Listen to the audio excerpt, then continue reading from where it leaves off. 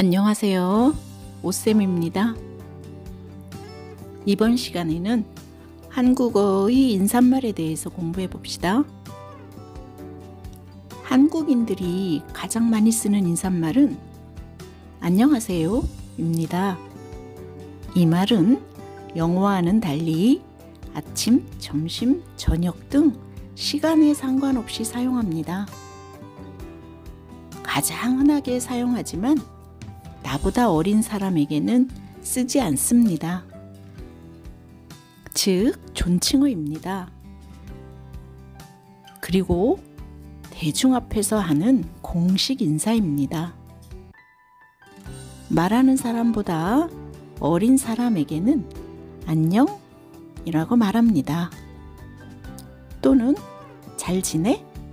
라고 말하기도 합니다.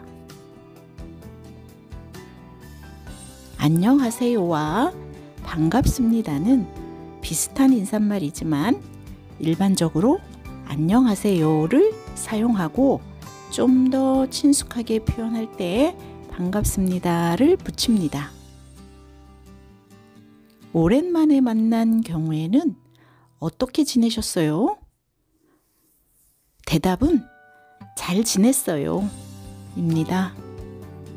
또는 오랜만입니다. 라고 인사하기도 합니다.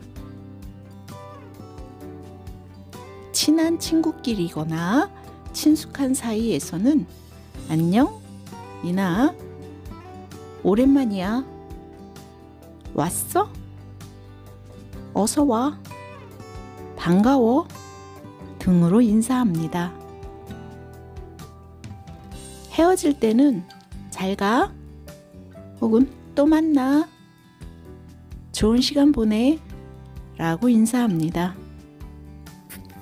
정중한 표현으로는 안녕히 가세요. 라고 말합니다. 고마움을 표시할 때는 감사합니다. 와 고맙습니다. 가 있습니다. 나보다 어린 사람에게 고마움을 표시할 때는 고마워 라고 말합니다. 나이가 많은 어르신께는 건강하세요 라고 말하기도 합니다. 상점에서는 주로 손님에게 어서 오세요 라고 하고 손님이 나갈 때면 안녕히 가세요 혹은 또 오세요 라고 말합니다. 잠자기 전에는 어른에게는 안녕히 주무세요 라고 인사하고 나보다 어린 사람에게는 잘자 라고 말합니다. 아침에 일어나서 어른께는 안녕히 주무셨어요? 라고 인사하고 대답은 어 혹은 응 그래 라고 합니다. 어른이 외출했다가 집에 들어오면 다녀오셨어요? 라고 인사합니다. 어른이 나에게로 왔을 때 인사말은 오셨어요? 혹은 식사는 하셨어요? 라고 말합니다. 식사는 하셨어요? 라고 말하는 것은 단지 인사말이므로 식사 여부를 대답하지 않아도 되고 대부분은 응 이라고 대답합니다. 반말은 밥 먹었어? 라고 말합니다. 한국어는 예의를 중시하는 언어입니다. 그래서 인사법이 매우 발달해서 다양한 표현으로 인사합니다.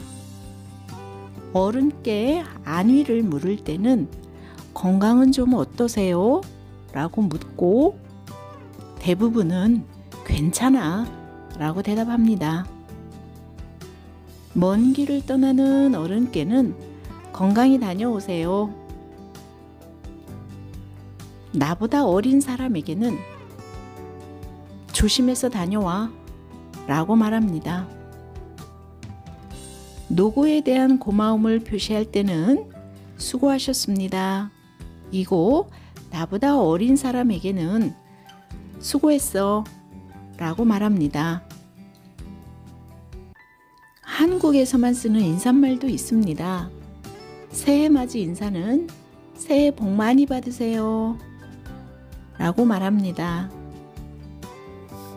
생일을 축하할 때는 어른께는 생신 축하드립니다. 이고 반말은 생일 축하해 라고 말합니다.